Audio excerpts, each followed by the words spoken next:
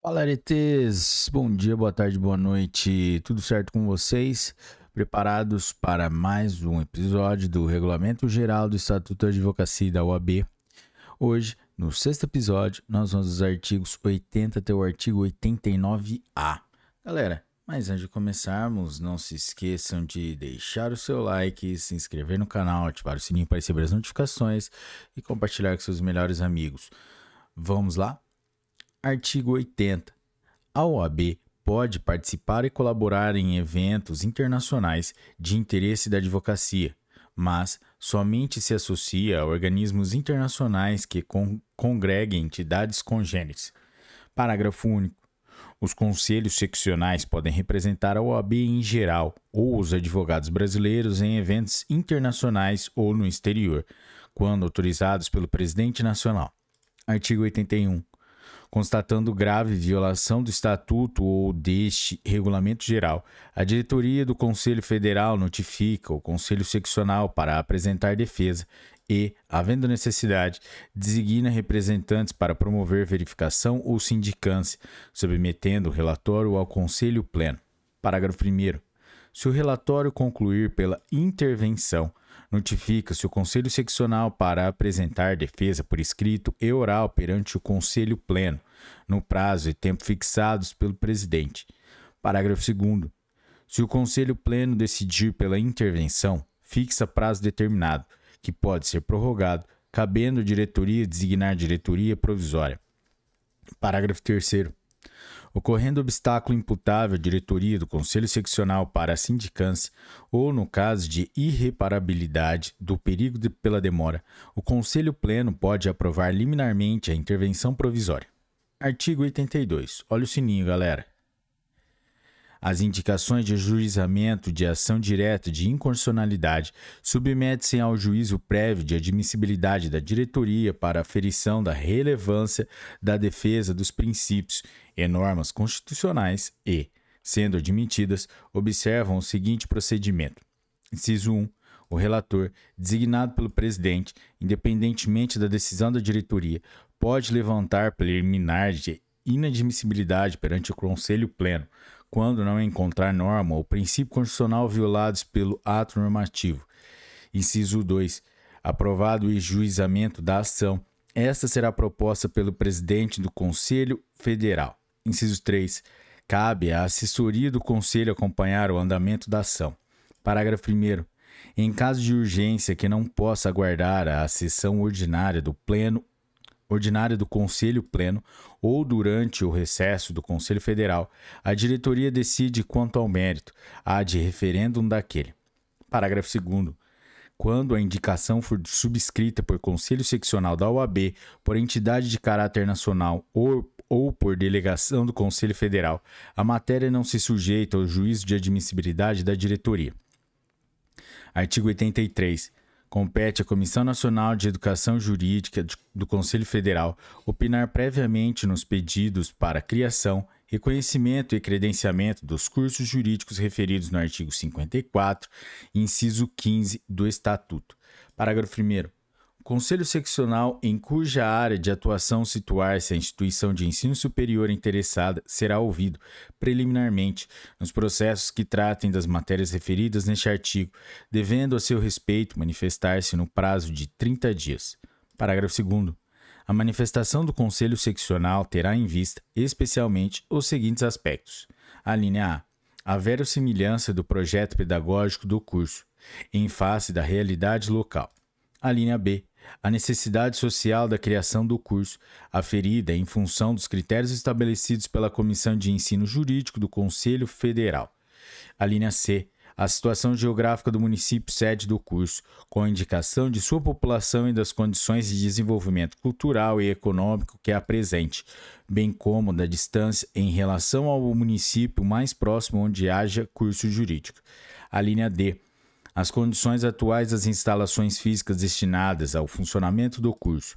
A linha E, a existência de biblioteca com acervo adequado, a que tenham acesso direto aos estu os estudantes.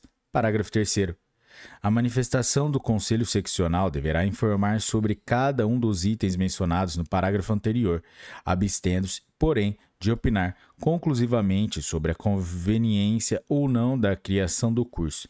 Parágrafo 4.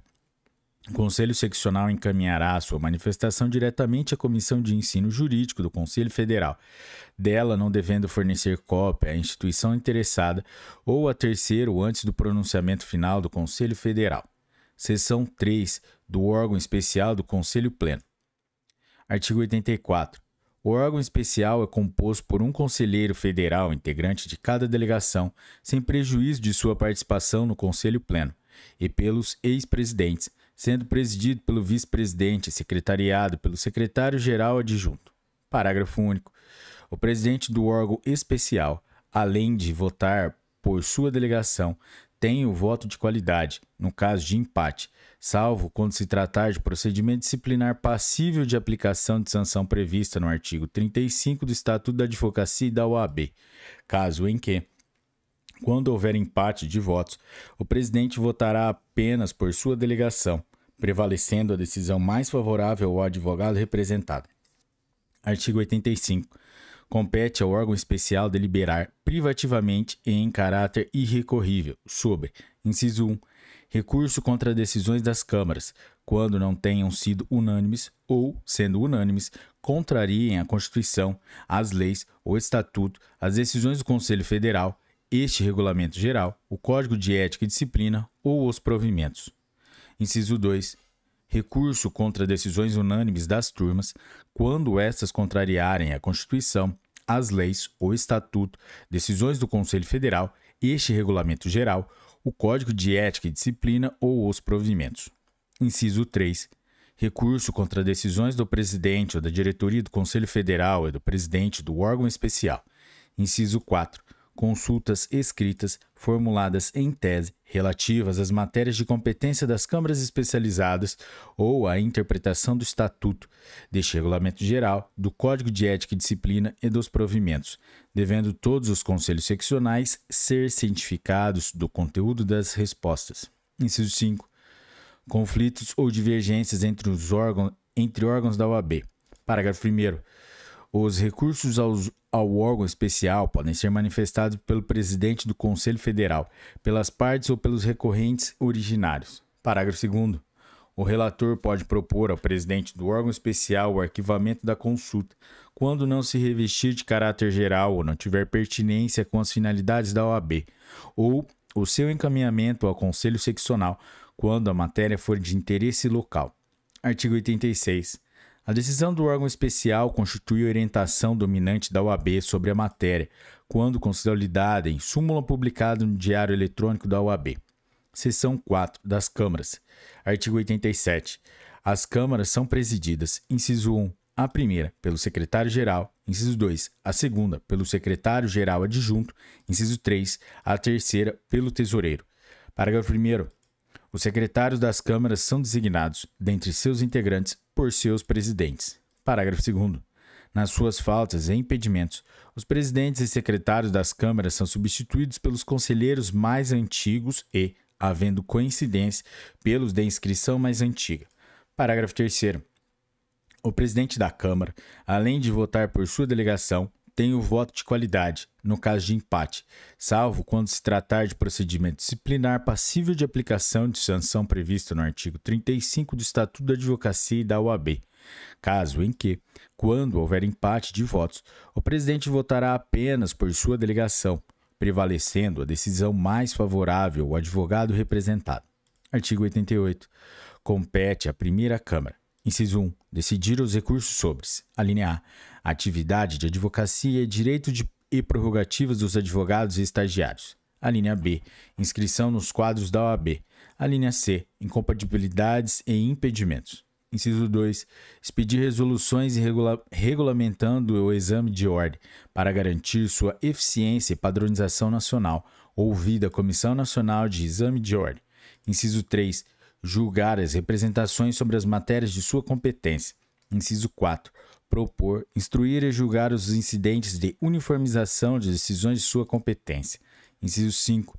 determinar ao Conselho Seccional competente a instauração de processo quando, em autos ou peças submetidas ao seu julgamento, tomar conhecimento de fato que constitua infração disciplinar. Inciso 6. Julgar os recursos interpostos contra as decisões de seu presidente. Artigo 89. Compete à segunda Câmara. Inciso 1. Decidir os recursos sobre ética e deveres do advogado, infrações e sanções disciplinares. Inciso 2 promover em âmbito nacional a ética do advogado, juntamente com os tribunais de ética e disciplina, editando resoluções regulamentares ao Código de Ética e Disciplina. Inciso 3. Julgar as representações sobre as matérias de sua competência. Inciso 4. Propor, instruir e julgar os incidentes de uniformização de decisões de sua competência. Inciso 5. Determinar ao Conselho Seccional competente a instauração de processo quando, em autos ou peças submetidas ao seu julgamento, tomar conhecimento de fato que constitua infração disciplinar. Inciso 6. Julgar os recursos interpostos contra decisões de seu presidente. Inciso 7. Eleger, dentre seus integrantes, os membros da Corregedoria do Processo Disciplinar, em número máximo de três, com atribuição, em caráter nacional, de orientar e fiscalizar a tramitação dos processos disciplinares de competências da OAB podendo, para tanto, requerer informações e realizar diligências, elaborando o relatório anual dos processos em trâmite no Conselho Federal e nos conselhos seccionais e subseções. Artigo 89-A. A segunda Câmara será dividida em três turmas, entre elas repartindo-se com igualdade os processos recebidos pela Secretaria. Parágrafo 1. Na composição das turmas, que se dará por ato do presidente da segunda Câmara, será observado o critério de representatividade regional, de sorte a nelas estarem presentes todas as regiões do país. Parágrafo 2.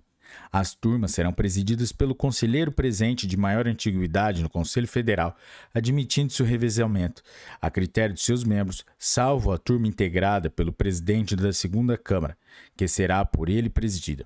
Parágrafo 3. Das decisões não unânimes das turmas caberá recurso para o Pleno da Segunda Câmara. Parágrafo 4. No julgamento do recurso, o relator ou qualquer membro da turma poderá propor que esta o afete ao Pleno da Câmara, em vista da relevância ou especial complexidade da matéria versada, podendo proceder do mesmo modo quando suscitar questões de ordem que implique a adoção de procedimentos comuns pelas turmas. Galera, é isso aí. Chegamos ao final do sexto episódio do Regulamento Geral do Estatuto da Advocacia e da OAB. Se você chegou até aqui e curtiu esse episódio, deixe o seu like e compartilhe com seus melhores amigos. Até a próxima. Um forte abraço, fiquem com Deus e tchau!